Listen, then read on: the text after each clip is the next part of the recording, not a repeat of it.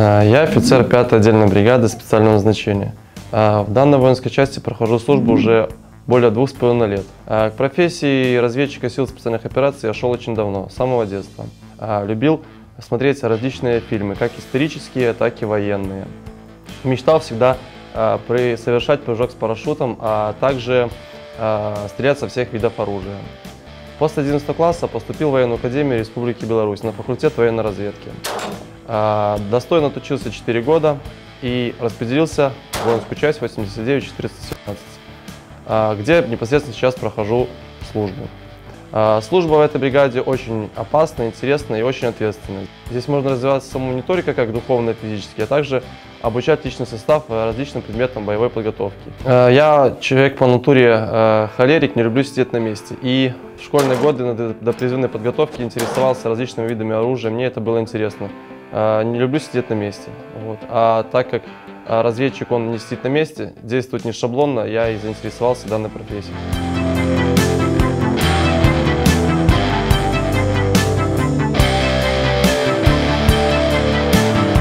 Мы можем выполнять задачи как любых подразделений, от танкистов до артиллеристов. Но основная задача это поиск объектов различными способами, также э, выведение строя различными спецмероприятиями различных объектов противника с целью захвата каких-либо документов, пленных. Я не настолько представлял, как будет здесь э, непросто. То есть э, Помимо того, что здесь закаляется не только физический твой дух, но и духовный. Морально-психологические качества проявляются в той или иной ситуации, на, на задаче, да, либо в повседневной деятельности. То есть где-то ты мыслишь не шаблонно. Ну, допустим, группа забазировалась, охранение выставлено, часть группы отдыхает. Э, И тут внезапно начинается э, обстрел группы.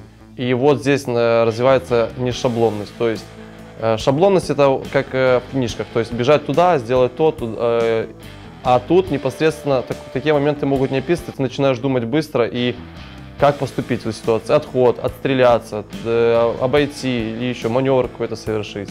То есть вот тут непосредственно быстро принятие решения влияет. Тренируешь свой мозг. Э, Моя группа состоит из э, 14 человек. Вот.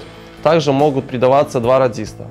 Вот. И моя группа из 14 человек включает э, таких специалистов, как минер, э, снайпер, пулеметчик, гранатометчик, э, старший разведчик. Помимо того, что разведчик он э, выживает в любых условиях, в любом месте, э, в любое время, э, также одной из главных э, задач это помимо выполнения задачи еще э, сохранность, живучесть личного состава. Вот это я считаю одной из самых сложных. То есть ты не только за себя отвечаешь, но и за своих подчиненных людей, которые доверяют тебе полностью и готовы выполнить любую задачу в любое время. А, На учение мы выезжаем относительно часто, а, вот. И это мне очень нравится, так как я могу себя проявить, показать свои знания, умения не, только в теории, но и в практике. Э, Есть учения не только э, внутри Беларуси, а также есть э, международные учения. Это совместно с группировками России, войсками, также в Казахстаном.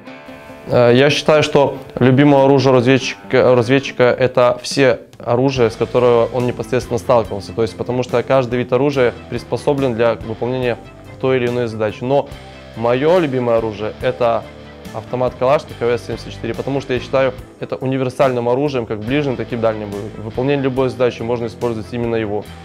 Вот. Так как снайперская винтовка на дальнем, то есть маневренность хуже, а АКС он и не такой тяжелый, и можно выполнять различные, различные роды задач. Были моменты да, на учениях, когда э, немножко ситуация выходила из-под контроля, где запас, и запасов еды немножко не хватало, и приходилось э, также выживать в лесу. Непосредственно э, те же ягоды, грибы, вот, собирать, варить. Также было, были моменты, когда приходилось ночевать а, под дождем, в ливень, не- непосредственно прижавшись друг к другу, вот, и на- накрывшись тем же дождевиком одним, потому что э, тоже пошло, ситуация пошла не по плану, задача была одна, но потом было перенацеливание, и э, так как таковых эм, эм, материалов для укрытия не было, и приходилось прижиматься друг к другу и, э, скажем так, э, обниматься. Но на самом деле это сплочает, то, что нас не убивает, делает нас сильнее. А несмотря на это, я считаю, что служба в разведчика, это, а в частности, в пятой бригаде, это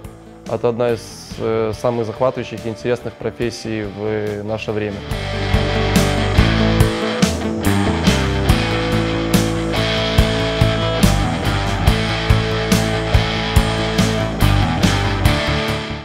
А, не женат, вот. Знаю, смешно сейчас стало. Э, девушка есть, намерения серьезные, но время покажет. После того, как я познакомился с девушкой, я, естественно, не стал скрывать, э, кем я работаю, чтобы сразу не завести заблуждение, чтобы она знала, с кем и с чем имеет дело. То есть она все поняла, и несмотря на это, она все равно со мной поддерживает меня, и меня это как-то закаляет еще больше. Я сам из э, Брестской области, город Ивацевичи. В 38 не хотел, так как это другое, другое подразделение, другие задачи. Я именно хотел в пятую бригаду, непосредственно данную должность.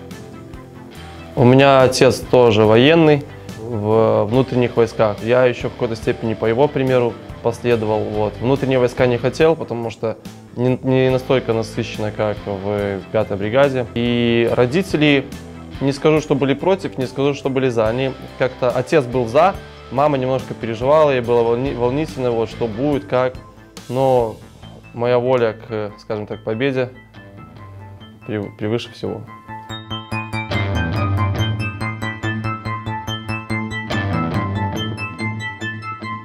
Ну, естественно, родители переживают. Сейчас ситуация в мире непростая, непосредственно с нашими соседями. Каждый день мне звонит, спрашивает, как у вас обстановка, не отправили нас. Я говорю, все хорошо, никуда нас не отправляют и не собираются отправлять. То есть мы на месте выполняем задачи по назначению, как и раньше до этой ситуации в мире. В нашей службе э, э, ничего не поменялось, только стало больше э, непосредственно каких-то учений, еще больше, ну, то есть э, показать, что мы тоже не пальцем делаем.